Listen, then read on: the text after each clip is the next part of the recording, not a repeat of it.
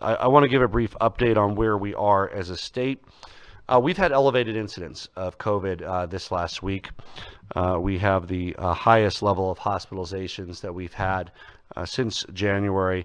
Uh, 964 Coloradans are currently hospitalized. That's 12 lower than yesterday. I was uh, so relieved to see the first decline in several days. It had been going up at a rather scary rate the last few days, but uh, it's certainly not any type of sustained decline. We have a very high rate, and, and I want to be clear the people being hospitalized are by and large the unvaccinated.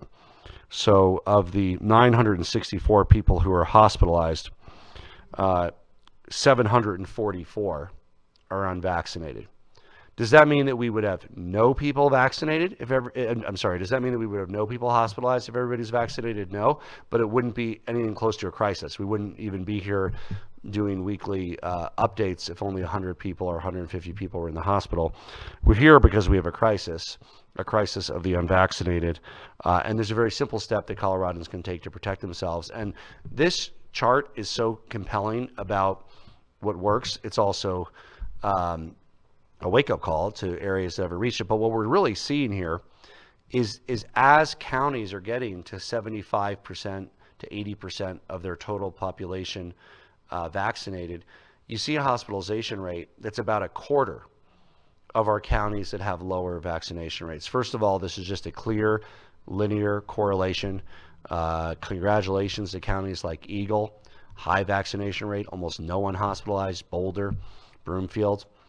Uh, but then, unfortunately, uh, there's some counties that uh, the word still needs to get out about the importance and the benefits of the vaccine. And there are a lot of Coloradans unnecessarily hospitalized because they didn't get the vaccine. And you know what? With some of the, the new therapies we have, many of them will recover, but some of them won't.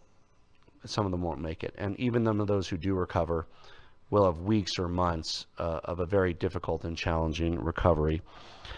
And what's frustrating, of course, is that as folks in Eagle and Boulder and, and, and, and Broomfield County uh, demonstrate, we have the solution. Um, the doctors who are going to talk today of the solution, your local doctor that you see knows the solution.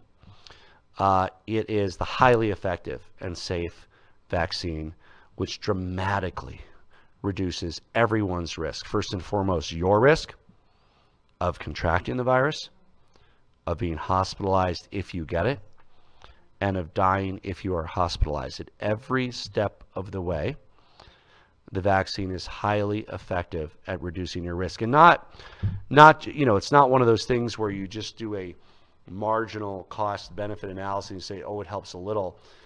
It is a dramatic dramatic difference in risk profile. Uh, the virus is here, the virus will stay here. There will never be no risk of COVID.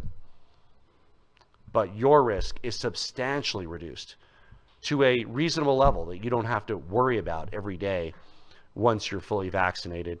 And again, I would encourage those who got the Pfizer vaccine more than six months ago to get a booster, or those who got uh, Moderna and have a weakened immune system or are aged to get that booster. We'll have more information on that in coming events.